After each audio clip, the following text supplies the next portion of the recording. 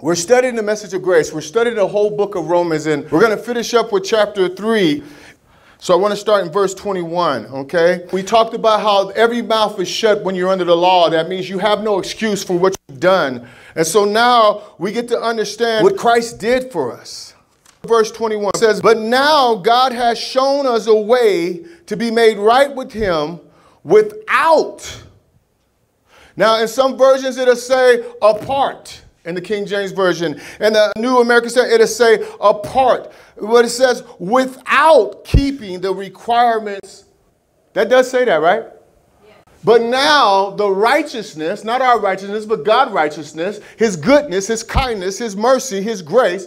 But now the righteousness of God has been made clearly, clearly. That means there's no confusion. That means that I, I can see clearly now the rain is gone.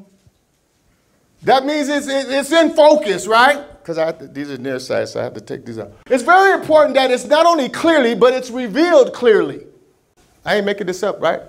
Okay, but now God has shown us a way to be made right with Him without keeping the requirements of the law, as was promised in the writings of Moses and the prophets long ago. What that means is the prophets and the law prophesied that Jesus would come.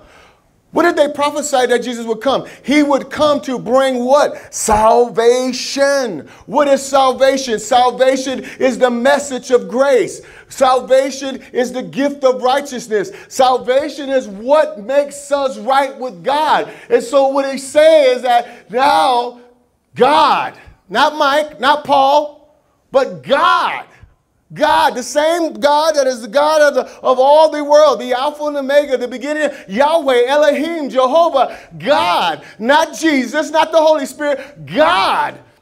Not Muhammad, not the Quran. God has shown us. So when you start to receive this message of grace, you got to understand it's coming from God.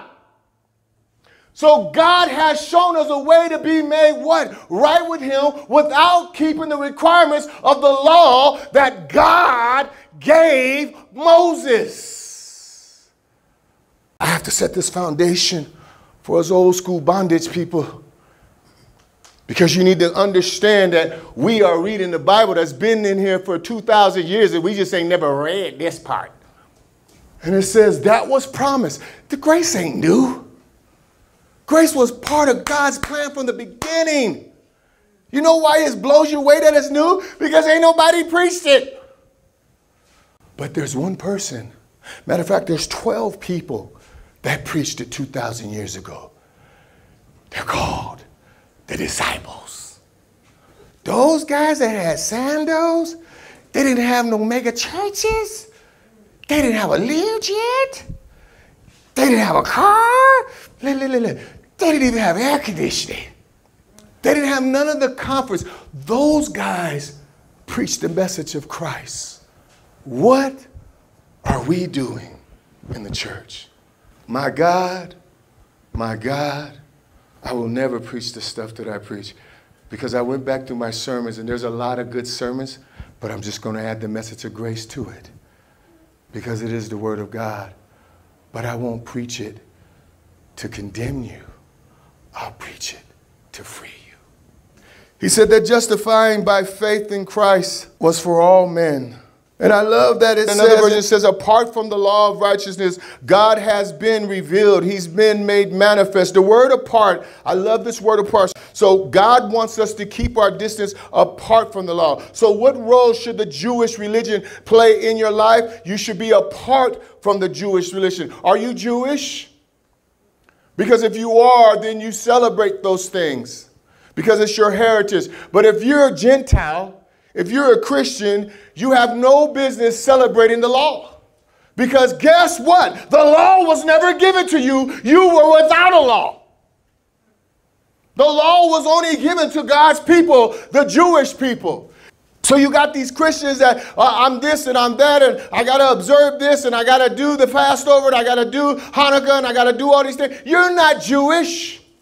So every time you say, I accept Christ, uh, but I'm going to do the law, what you're doing is you're disrespecting both.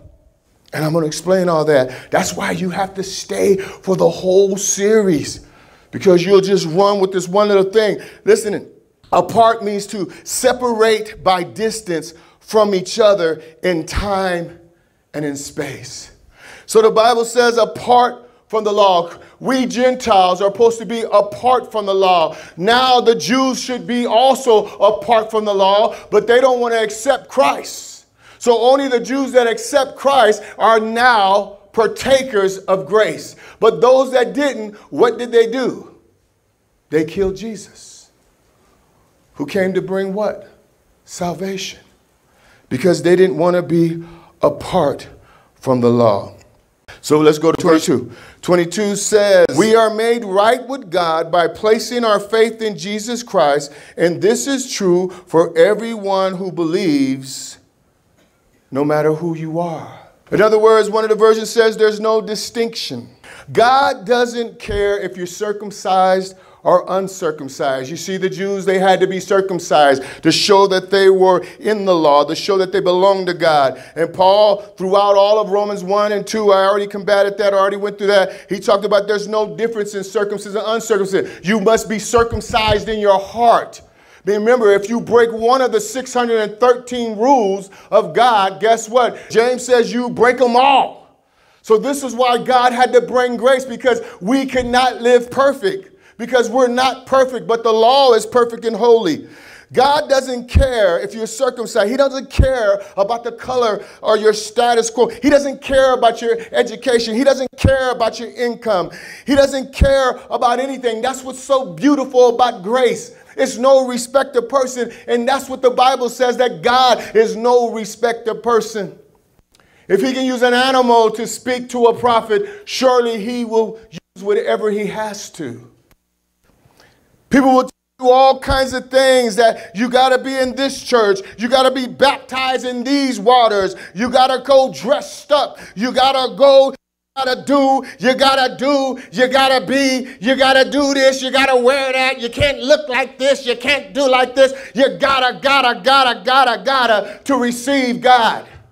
You gotta be like me, like Mike. You got to pray like me. You got to walk like me. You got to talk like me. So many Christians are messed up today because they're trying to pray like their pastor. They're trying to mimic. I got these little kids on YouTube, on Facebook, and they quoting and mocking the pastor. and I say, shut up, little kid. And shame on you, parents, thinking that's cute. That boy and that girl has no understanding of what it is in God. They're just mocking and repeating a pastor that they go to church since they was little and they memorized it. God does not think that's cute. You show me a baby that can speak the own word of God out of his mouth, not a mimic or a copy, then I'll say, hallelujah, that baby's anointed.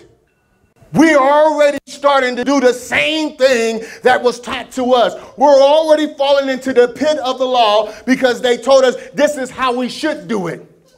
And this is what the cycle creates it creates years and years of bondage, years and years of guilt, years and years of condemnation, years and years of confusion. Years and years of you thinking you're not worthy of God. And I'm telling you because it did it to me.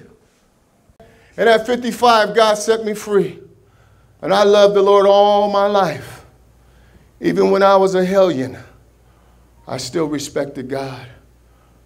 God is no distinction of person.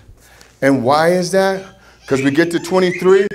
For everyone has sinned. Everybody say it together. Everyone has sinned. Paul, Moses, Gideon, little coward. I can't go fight him, God. I'm scared. We all fall short of God's glorious standard. What is God's glorious standard, guys? It's the 613 Mosaic Law. That is the standard of gold. That is the standard that if you are perfect, God will justly reward you with heaven. But if you're not perfect and you're the breaker of one law, you talk back to your dad one time, you say no to your mom one time, you say, I don't want to do it one time, you are destroyed and you are murdered, and that is the end of your life under God's glorious standard. Thank God for grace. In verse 24, it says this Yet God, with undeserved kindness, declares, now listen to this and get this in you if you don't get nothing, that we are righteous, and He did it through Jesus Christ, who freed us from the penalty for our sins. Grace freely makes us right with God and His sight. See, Christ paid the debt. See, the Bible tells us that the wages of sin, why does it use wage? It says the wages of sin is death. The cost, sin costs a lot, don't it? It feels good when we're doing it. I know I, I, am the worst of all. I, I got to admit, I, I enjoyed every one of my sins. Why I was in sin, why I thought about sin, why I rejected grace, why I didn't want nothing to do with Christ, why I embraced the world, why I hated God. Because, see, what I tell you is this the more you fall in love with Jesus, the less you want the things of the world. And then when you enjoy sin, it's because you want the things of the world. Let's just not lie about it, be truthful about it. There are some sins that feel so good. Feel good when I pulled the baddest chick on the block and slayed her. All my boys gave me props. Dude, you a bad dude, man. You got you got your quank. Hey, brother had to work hard. I mean, dude, I had to buy flowers. I had to take her down, down, down Dom Perignon. Shoo, sex ain't cheap. It costs a lot. It costs so much nowadays, it'll cost you your life. Can you say HIV? Oh, but it felt good, didn't it? That's why the Bible says, For we all have sinned and you enjoyed your sin. But with grace, I don't have to tell you about your sin. I have to tell you about your faith. I had to tell you that you get this for free. That you don't have to work for it, that you don't have to serve for it, you just have to accept it. And then guess what happens? The beauty of it. Pastor Mike ain't got to tell you the do's and don'ts because you already know because the Spirit of God goes inside of you and God says, I will put my law inside of you. That's why salvation came. It is the spiritual law that God puts inside of you that guides you to please God. Not your mama telling you, not the pastor telling you. It says, in verse 25, for God presented Jesus as a sacrifice for sin. God presented Jesus as appropriation. Appropriation is a big Bible word, but let me tell you what the sacrifice of Jesus is. If you read it in all the other versions, they will have the word appropriation. For God presented Jesus as a sacrifice for sin. People are, listen to this, People are made right with God when they believe that Jesus sacrificed his life, shedding his blood. This sacrifice shows that God is being fair when he held back and did not punish those who sinned in past times. For God presented Jesus as appropriation. God allowed Jesus to be displayed. Appropriation means God is pleased, God is appeased. And what God did is God looked at the public display of Christ. He's crucified, He's hanging there, He's bleeding. He, we've poked his sides, We've disfigured his face, He's dying. He is the one atonement, He is the blood sacrifice. No longer did God want the blood of bulls and goats, no longer did He want the burnt offerings. He said, I need a sacrifice once and for all. And He sent His Son, His only Son, His, his only son that he ever had. And he sent his only begotten son to die for us. And as God showed him on the cross, bloody and kneeling, he said, Look, this is my son that I appropriated for you. I have witnesses. Look, it's a public display. Have you seen it? Here it is forgiveness. Here it is atonement. Here it is salvation.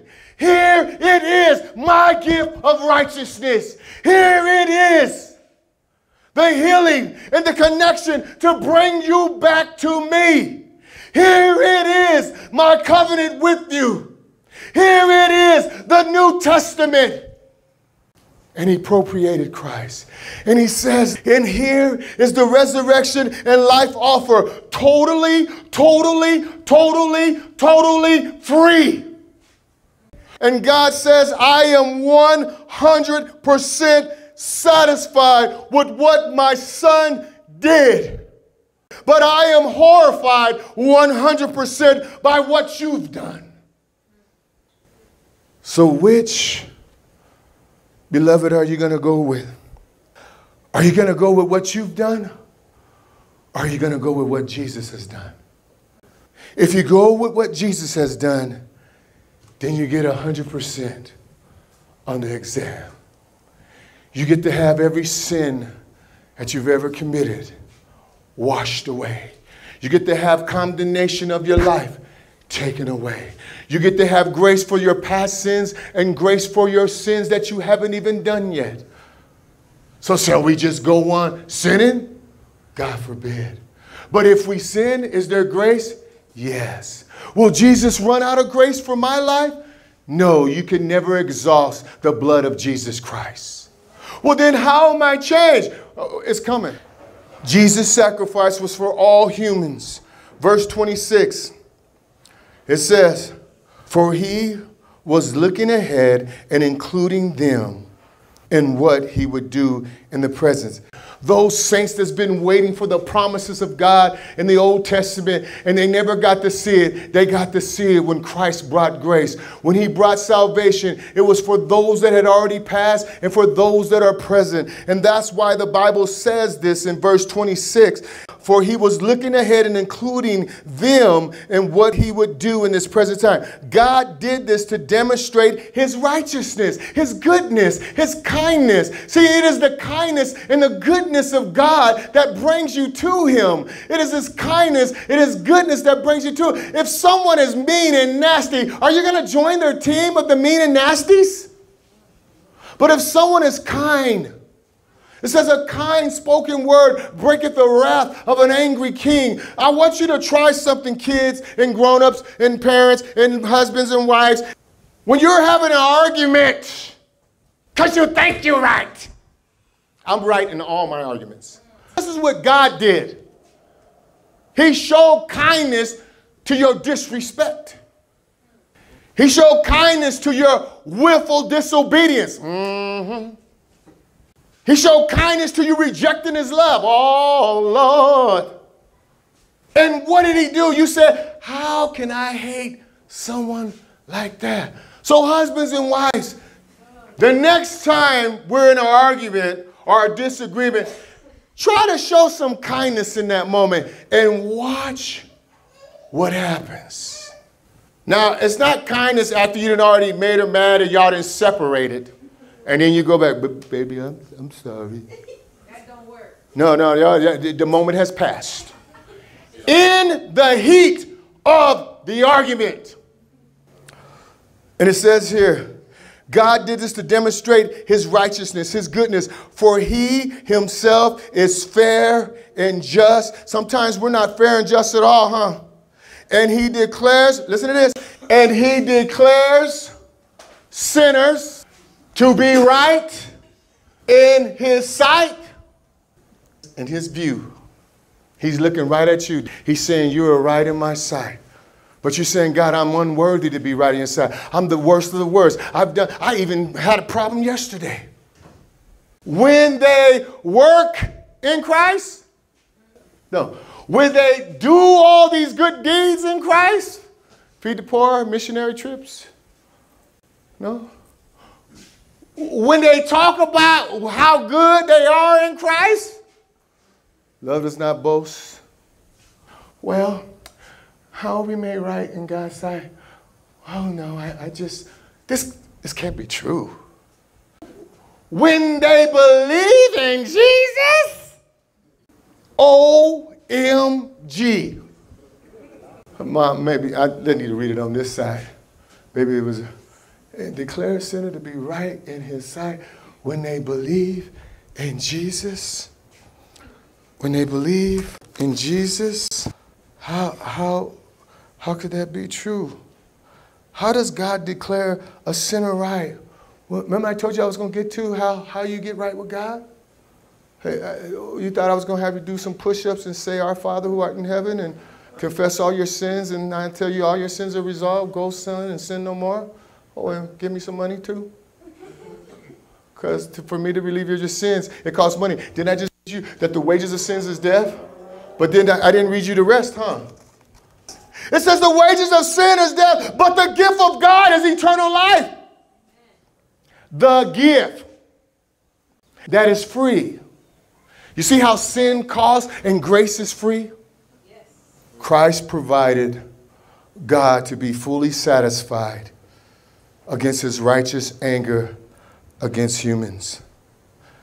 Verse 26 How do I get right with God then? The craziest way of all. But, but, but, but I've been told all my life that I gotta do this and I gotta do that and I gotta wear this clothes and I gotta talk this way and I gotta walk this way and I I got to be above reproach and I, I got to be holy, even though the pastor ain't holy because he's sleeping with the bookkeeper. But he to tell me to be holy. He to preach this fire out of this pulpit all day long and crush the hell out of me. It's the crazy thing. There's nothing you can do to get right with God. There's nothing you can do to get right with God. It's all about what you believe. And when I say do, I'm talking about an action.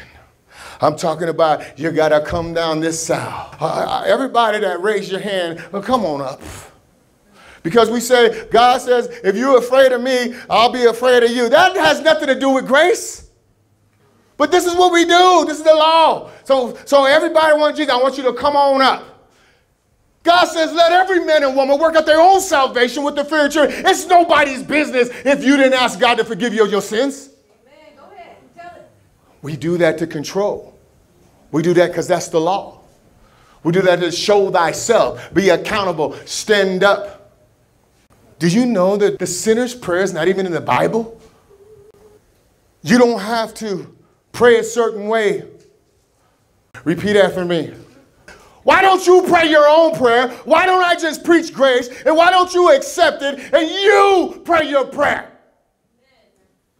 But the law says I gotta help you, you gotta do it this way, or you ain't saved. Well, what does that say? They lied to me all my life. I'm taking vengeance against the law now. But don't get me wrong, I love the law. And I'm gonna explain. We got to get to verse 31. You're to see, and you're to love this ending. Trust me. The part that the Holy Spirit wants you to hear, you will hear. The rest of it is Charlie Brown school teacher. Wow, wow, wow, wow, wow, wow, wow, wow, wow. What he say? God does use prayer though. It's how we communicate. It's his main tool of worship. But how do we receive God's Spirit? How do we receive this? Listen, by one way. Faith comes by hearing, hearing, hearing the, the word of God, which is the good news. And when you hear the word, a sinner will be made right in God's sight when they believe in Jesus by hearing a message of grace that Jesus is. That's how you get faith. That's how you get right with God. There's no altars in the New Testament. Oh, but we've made tabernacles. Preachers preach way up high to look down at all y'all.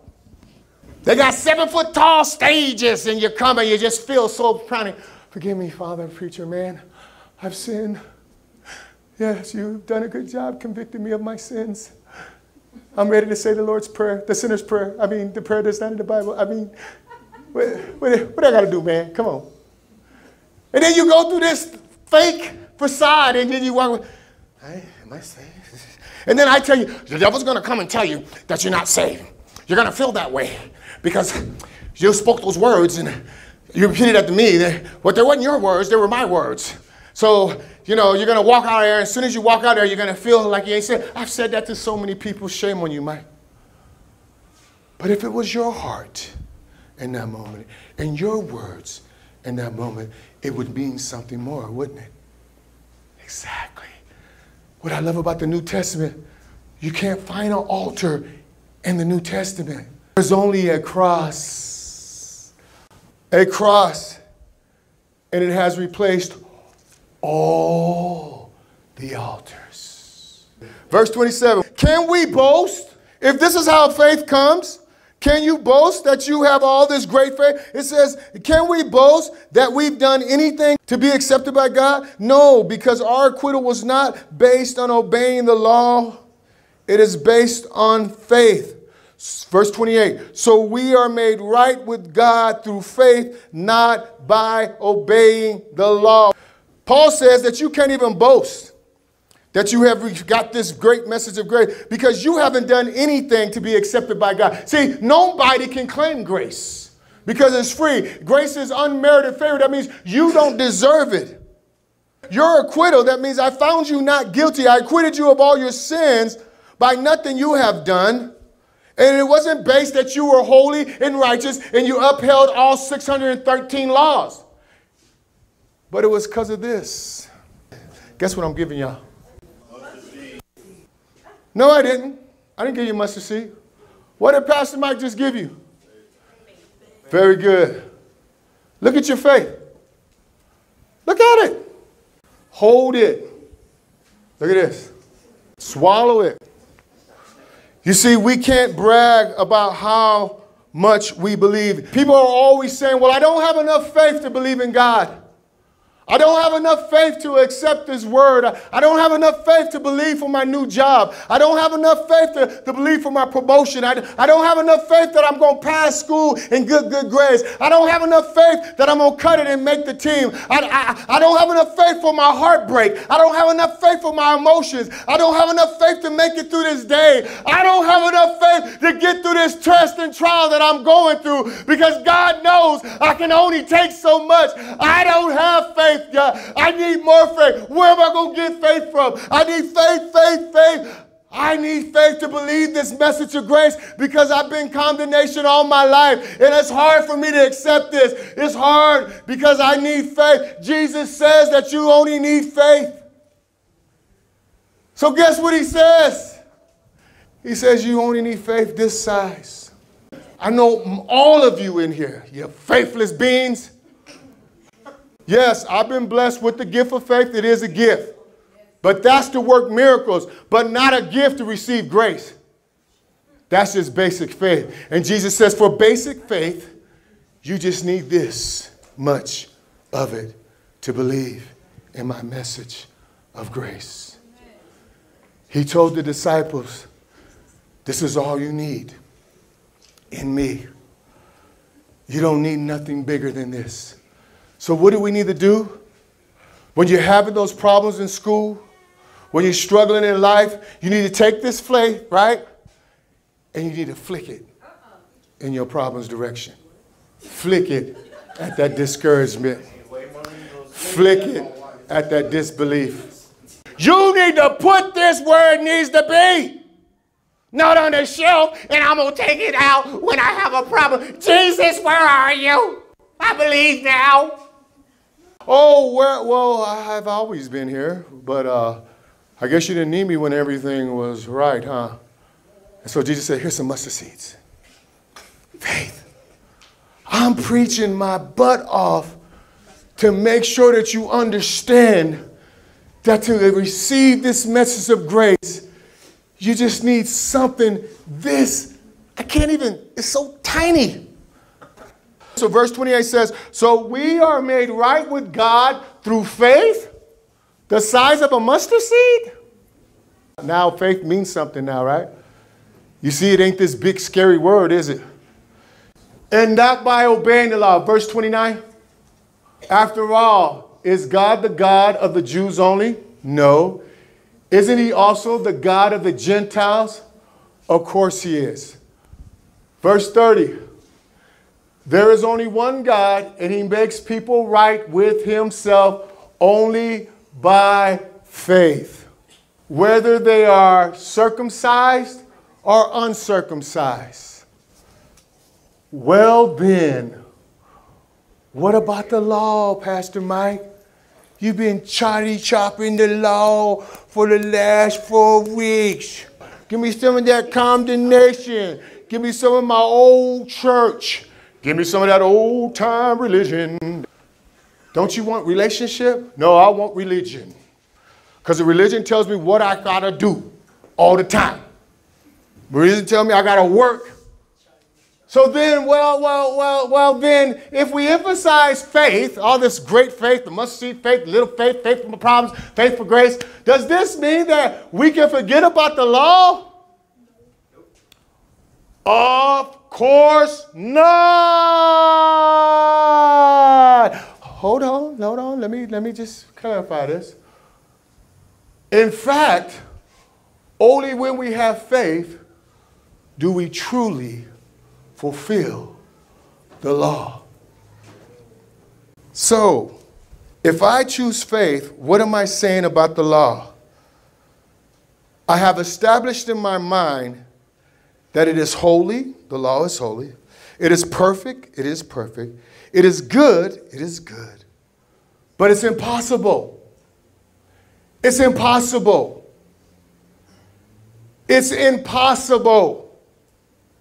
Oh, but I want to pick the, the three, the five, the six, the seven. No, no, you got to pick all 613. You can't pick three, five, six of the laws that you're going to, you can't pick two of the commandments of the 10 that you're going to obey. If you break one, you break it all. So the law is good, the law is just, the law is holy, but the law is impossible. And if I choose faith, by choosing faith, the way of free grace, the way of free forgiveness that doesn't cost me anything, it costs Jesus everything. I'm saying I can't do the other way. I'm saying, God, I, I can't live perfect. So I'll accept the gift of righteousness that makes me right with you. I'll accept it. So, how does the law work? It works this way the law convicts us of our sins. And the only way we can be convicted of our sins is if we believe in God because we want to please God. And so when we find out that we're trying to please you, God, and I broke one of the 613, here's my offering. Oh, I still feel guilty. Oh, I still feel condemned. I come back year after year with a goat and a sheep and a bull, and I sacrifice for my adultery. I sacrifice for my murder. I, I sacrifice for my stealing, and I sacrifice for my disobedience. I feel so convicted, but I'm only convicted because I believe in you, because I believe in the God Almighty. And so I'm walking in law, and I have faith in you. But now what happens is that same belief, that same conviction makes you, that draws you to want to do right, draws you to believe in grace. God's new covenant. Amplified. Do we nullify the law by this faith, making the law of no effect, overthrowing it? Certainly not. On the contrary, we confirm and establish and uphold the law since it convicts us of sin, pointing us to the need of salvation. Stand up. Christ is the fulfillment of the law. The whole message of grace is not that the law should go away, it's no longer validated because the new law, the new covenant, took its place. And when you understand that grace doesn't take away the law, it fulfills the law, therefore it moves on to the new covenant. That's why you have an Old Testament and that's why you have a New Testament. That's why you have the Old Covenant and you have the new covenant. What did God say in Hebrews 10? He says, No longer, when Jesus came, He says, You prepare a body for me because you no longer wanted the blood of goats and, and bulls and sacrifice. Because year after year, they could never take away the guilt of your sin. And so He says, So, Father, on the night that I'm coming, I will come and I will do your will, not my will, but your will. And then God declared this in heaven. He says, And this shall be the new covenant that I will put my law inside of my people's heart. So when you receive grace, when you receive salvation, it comes with that added extra strength that breaks the condemnation and the curse of sin over your life and you're free. And guess what? When you fall down, you get back up and you're still feeling free. You're not feeling unworthy, so you don't stop coming to church. What happens is this you fall in love with Jesus, and the Spirit of God lives in you. And it just tells you in a gentle way that's not who you are. It doesn't say, KC, you're going to hell. But no, it says, KC, do you love me? And you say, Yeah, God. He says, Come on, follow me then. That's it. And then guess what happens? You fall in love with Jesus because it started with that little seed that I gave you. And you believe that you have been set free. You believe that you're redeemed. You believe that all condemnation and lies spoken of your life, God redeems you. And whom the Son is set free is free indeed. And I'll say it like I say it every Sunday. Don't let nobody put you back in that condemnation box. Is there enough grace if I sin? Yes. Shall I keep on sinning? No. Well, how do I stop sinning? How do I stop sinning? You keep working at it until old things pass away and all things are new. So everything you do after that moment of salvation is because you love Him, not because I'm telling you to do it. Because you can do and work and you won't make it to heaven because you don't have to do and work to receive eternal life. You have to believe. Father, I just thank you. Father, just let your word just touch every heart in Jesus' name. Holy Spirit, give me affirmation. Holy Spirit, confirm to the hearts of the believers that this word is true. We're just reading the Bible. We're just reading your word. So, Father, let them leave with hope in their hearts, with that mustard seed in their pocket. Father, I pray that they would guard that mustard seed all the days of their life because I know they've never been in a church where the pastor gave them a mustard seed. But I'm giving them faith. And I want them to remember that when they're 20, when they're 30, when they're 50, when they're 60. I want them to hold on to that seed for every trial and tribulation that they shall go through. I want them to hold on to that seed for every temptation that will come across their life.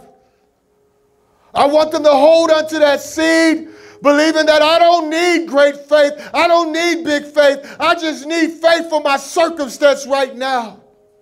And I want that seed to remind them of the message of grace. In Jesus' name, amen.